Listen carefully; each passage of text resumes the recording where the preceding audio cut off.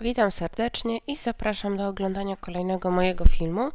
Tym razem w ramach statystyki e, matematycznej chciałam Wam pokazać, jak na papierowych tablicach, e, takich z podręcznika z dowolnego zbioru zadań do statystyki matematycznej, można znaleźć niezbędną wartość krytyczną z rozkładu te studenta. Jeżeli tablice są e, tak, że tak powiem wizualnie zdefiniowane jak tutaj, e, mamy do czynienia z tablicami, które określają wartość krytyczną e, typową do przedziałów ufności i do testów. Obszar zakreskowany pokazuje nam prawdopodobieństwo tutaj lewej i prawej strony wystąpienia wartości, która mieści się w tych granicach od minus nieskończoności do minus t i do t do plus nieskończoności w którymś z tych przedziałów. I teraz tak, e, tablice rozkładu te studenta e, zależą, żeby znaleźć wartość krytyczną z rozkładu te studenta w tablicach papierowych, czy nawet w Excelu, jakkolwiek byśmy tam nie powiedzieli, zawsze zależą od wartości dwóch. Pierwszą z nich są stopnie swobody. One są zapisane symbolem w tych tablicach papierowych e, symbolem K. Mogą mieć symbol S, V, R albo DF zapisywane jako Degree of Freedom. I one e, w tych tablicach, które ja Wam dzisiaj tutaj pokazuję, mają zapisane e, stopnie swobody tylko do 30. Dlaczego? Bo rozkład te studenta jest traktowany rozkładem dla, jest traktowany jako rozkład małych prób więc to jest y, rozkład y, tylko do 30. Tak się przyjmuje, że próba mała to próba do 30. Dlatego tutaj można powiedzieć, że rozkład studenta jest traktowany dla prób małych. I teraz stopnie swobody lecą w wierszach, a w kolumnach mamy poziom istotności. Często on jest zapisywany jako alfa i mamy prawdopodobieństwo 0,9, e, 0,8, ale najważniejsze są tutaj, zobaczcie, e, zapisane tu po prawej stronie 01, 002, 001. Dlaczego? E, bo e, te wartości najczęściej są poziomami istotności w przypadku budowy przedziałów ufności, jak i weryfikacji testów statystycznych. Rozkład testu studenta może weryfikować e, różne testy, czy to dla średnich, czy to dla pojedynczych średnich, czy dwóch średnich, czy wielu innych.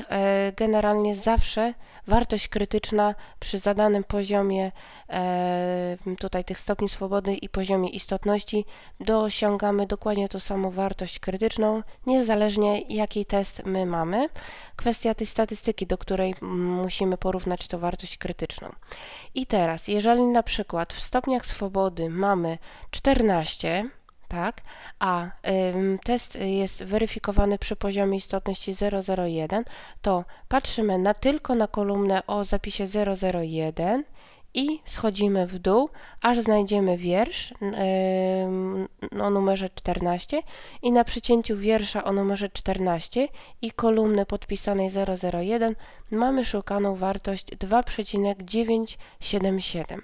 Ta wartość musi być wzięta do budowy e, przedziałów ufności lub do testu, czyli do tego, do czego ta faktycznie wartość była nam potrzebna.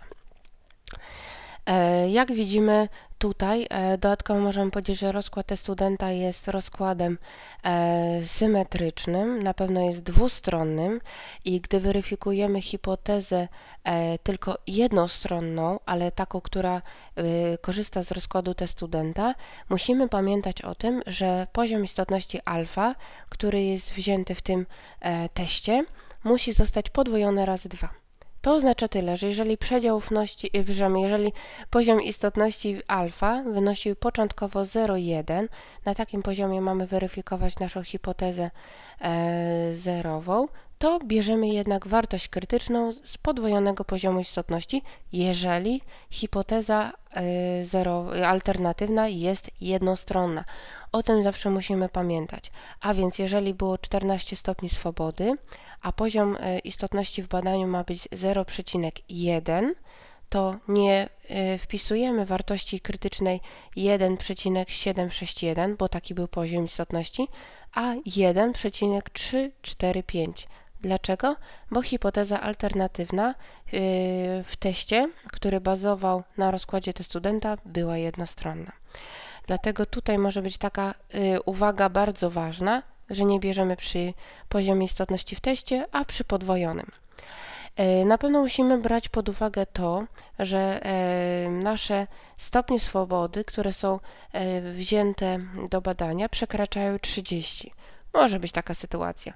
Wtedy bierzemy wartości dla maksymalnego poziomu, który mamy w tablicach, które są wzięte e, czy to na kolokwium, czy na egzamin, czyli dla 30 stopni swobody, mimo że w badaniu mamy więcej tych stopni swobody.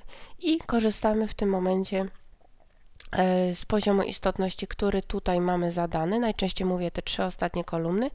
I na przecięciu odpowiedniego wiersza z odpowiednią kolumną mamy wartość krytyczną. I tu, i tu, i tu. Yy, tylko, że czasem wykładowcy, to jeszcze jest jedna ważna uwaga, wykładowcy mówią tak, jeżeli potrzebujecie znaleźć wartość krytyczną z rozkładu T studenta, e, a kończą się one na E, liczebności stopni swobody 30, czyli jak dla małej próby, a próba w badaniu jest duża, możecie przejść do szukania wartości w rozkładzie normalnym. E, wszystko zależy od wykładowcy, jakie on zasady przyjmuje. Także pamiętajcie, tu stopnie swobody, tu są wartości krytyczne. Na przecięciu odpowiedniego wiersza i odpowiedniej kolumny mamy wartość niezbędną do zbudowania przedziałów ufności lub do weryfikacji testów statystycznych. Ja Was serdecznie pozdrawiam. Zapraszam do przeglądania innych filmów, które dotyczą nie tylko statystyki matematycznej czy opisowej, również do innych przedmiotów E, wszystko jest posegregowane w formie playlist. E, możecie te filmy sobie udostępniać nawzajem. Mogą Wam okazać się bardzo przydatne. Także e, potrzebujecie to, subskrybujcie kanał, komentujcie i lajkujcie, jeżeli oczywiście macie do tego e, potrzebę. Ja Was serdecznie zapraszam. Jestem korepetytorem online z przedmiotów ekonomicznych. Zawsze możecie się ze mną skontaktować e, i wysłać swoje zadania do przeliczenia, jeżeli macie z nimi problem. Pozdrawiam serdecznie.